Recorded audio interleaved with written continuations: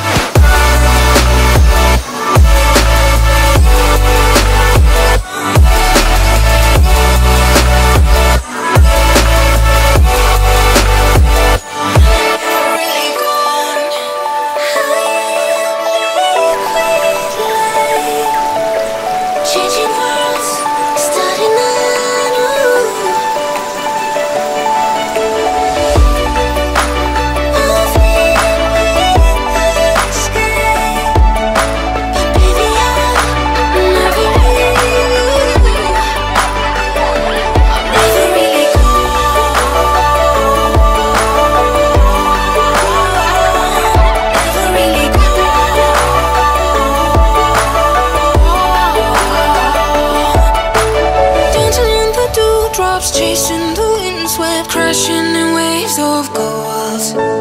I'm just begun. I'm just begun.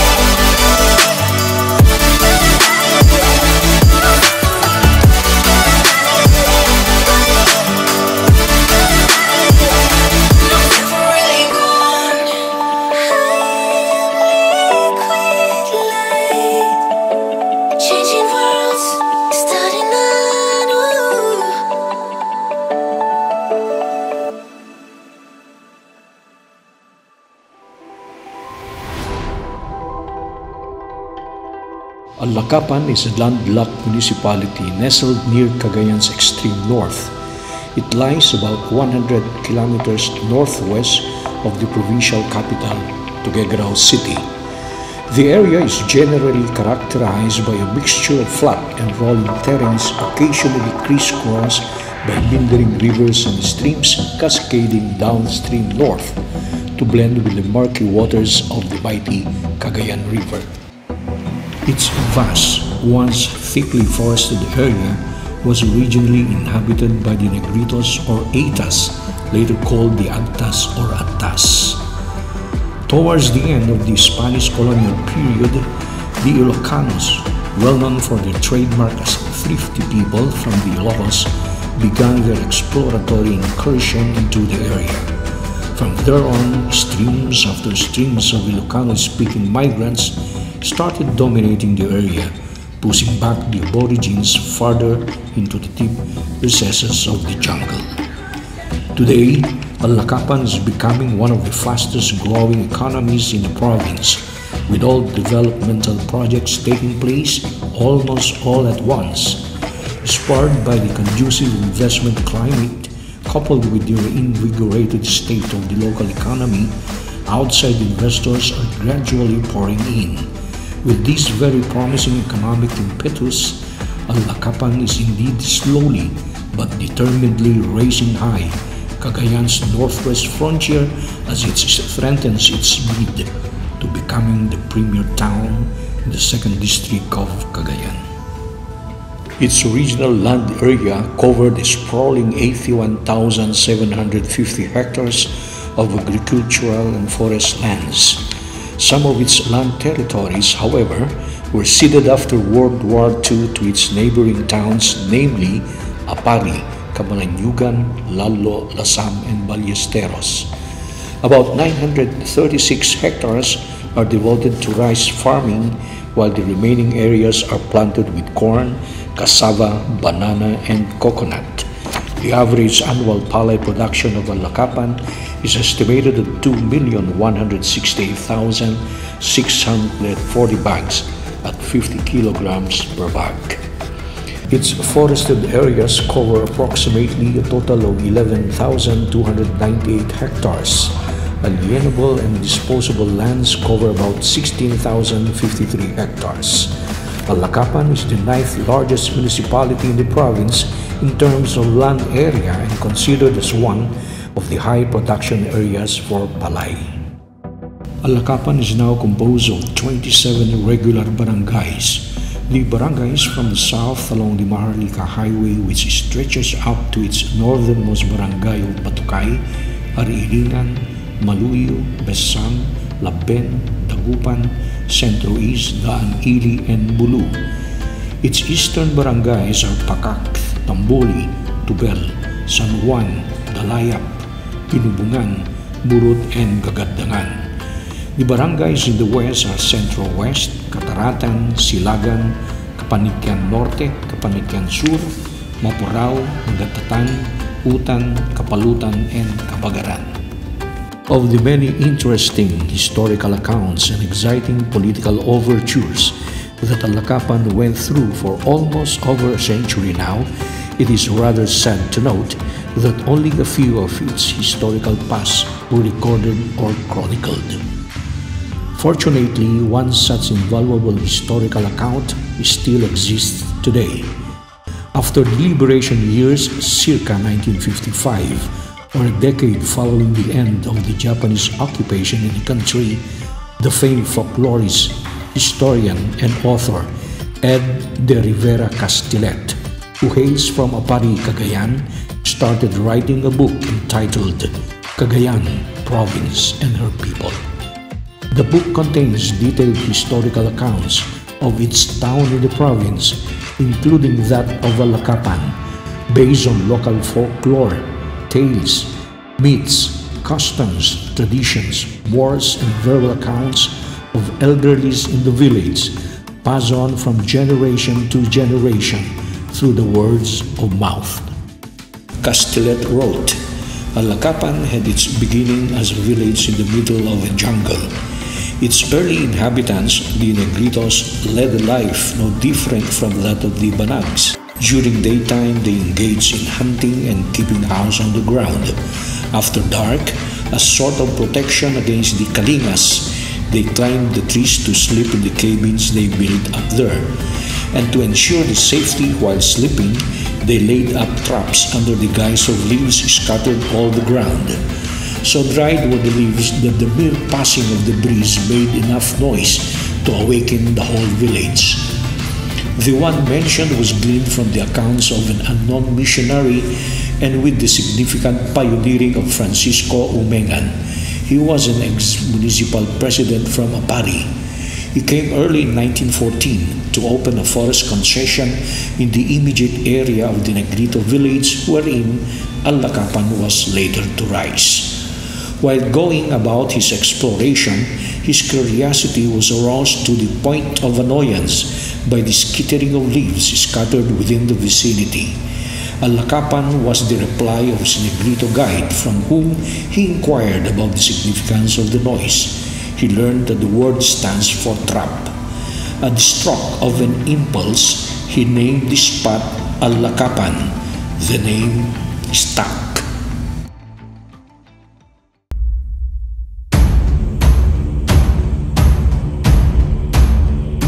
There was another tale, a favorite one among children in the early times, which had been told and retold by the village elderlies to their grandchildren. The tale has a melodramatic tone. The storytelling usually went this way. In the olden times, so the storyteller would begin. There lived two great warriors who possessed almost magical powers.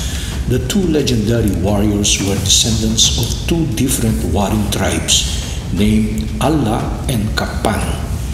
But sometimes luck has a way of playing around with mortal lives. In short, Allah and Kapan fell in love with the charms of the most beautiful maiden in the village. To settle the issue as to who should marry the girl, the two warriors decided to fight it out to a duel. So Allah and Kapan fought the fiercest battle they've ever fought in their lives for love. As the tale goes, the two dueled for days, and the days became nights, and the nights became days. They fought with all their might, without let up. The days wore on. Allah and Kapan became too weak, too exhausted to finish their duel. They were bleeding profusely to death, and both of them died almost at the same time without anyone being proclaimed the victor. In honor of the two slain gallant warriors, the villagers named the village after them, Allah Kapan. Tracing the evolutionary progression of Alacapan as a budding political unit of government, Castellet recalled Alacapan first saw democracy in action in 1926. The district government of Tawit Mountain Province, to which Alacapan originally belonged, appointed a village headmaster. For three months or so, he directed the affairs of Alacapan and collected taxes for the same because Alacapeños thought that under the American regime, there won't be any taxes to be paid. This obligation proved irritating to them. They were irked furthermore when the same year Deputy Governor Capitan Claro Lizardo authored a resolution that Alacapan be made a municipal district under the sub-province of Apayao. Strongly against the idea were some prominent Alacapeños, namely Francisco Umengan, Odon Ravilas, Felix de la Cruz, Prudencio Turida, Nemesio Tolete, and Numeriano Barsatan.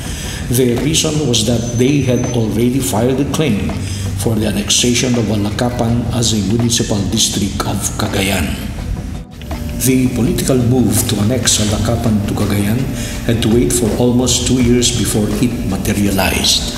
On June 30, 1927, the Office of Governor General Eugene Gilmore issued Executive Order Number 68 upon recommendation of the Provincial Board of Mountain Province concurred in by the Director of the Bureau of Non-Christian Tribes and the Secretary of the Interior separating Allacapan from the municipal district of Tawit, sub-province of Apayao Mountain Province and organizing it as an independent municipal district under the name of Allacapan with the seat of the municipal district government in the barrio of Alacapan.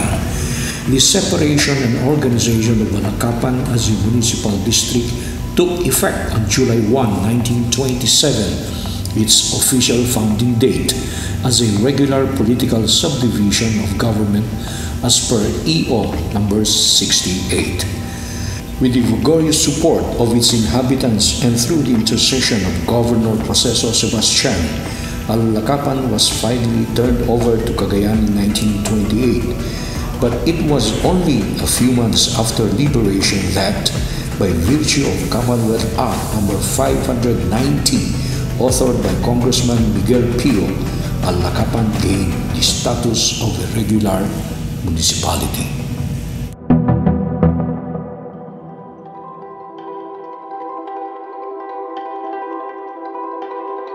Yung pangalan niyo, Inang? Herminia da Arellano Daludro. Okay. Ilang taon na po kayo, Inang? Ay, 92.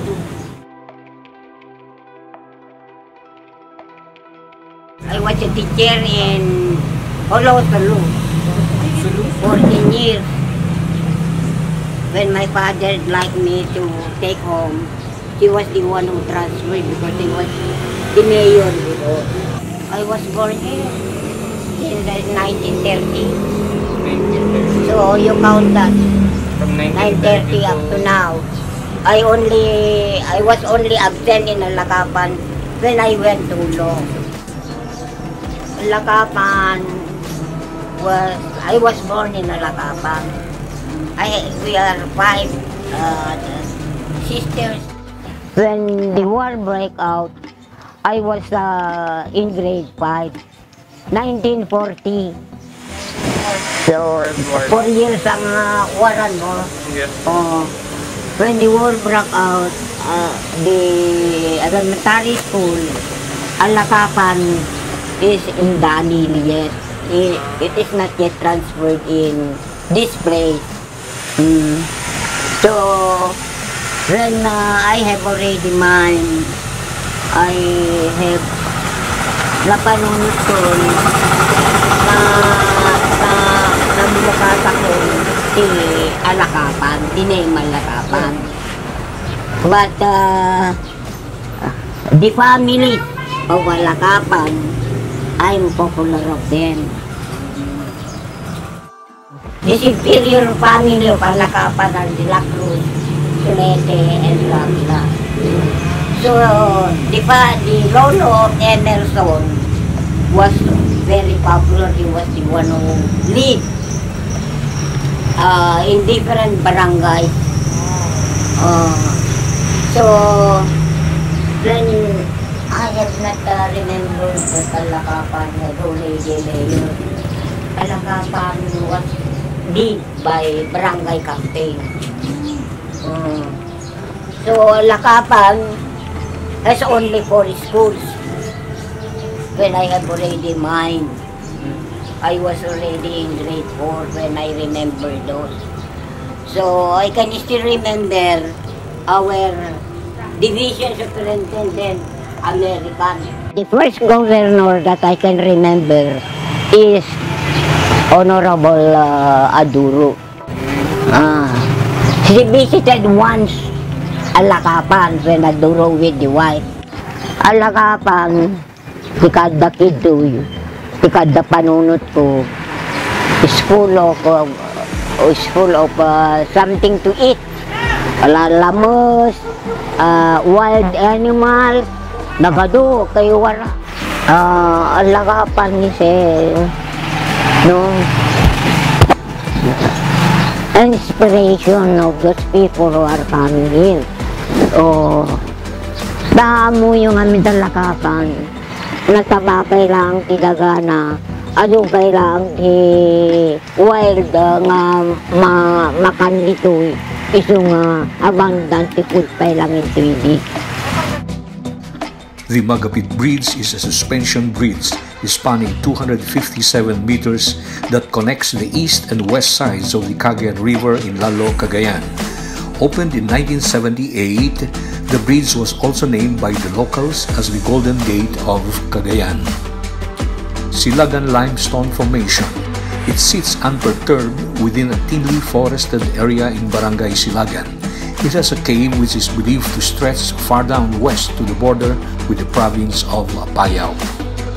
The Allacapan Municipal Park. The rehabilitated and improved park is one of the pet projects of incumbent Mayor Harry Florida. It boasts of a rubberized oval, an array of physical fitness equipment, and a fully furnished children's playground. Emeredith Memorial Park. Located on the western periphery of Central West Allacapan, Cagayan, the park was the second private memorial park established in Cagayan. It was founded in September 2006. Allacapan Public Market. The public market has two buildings.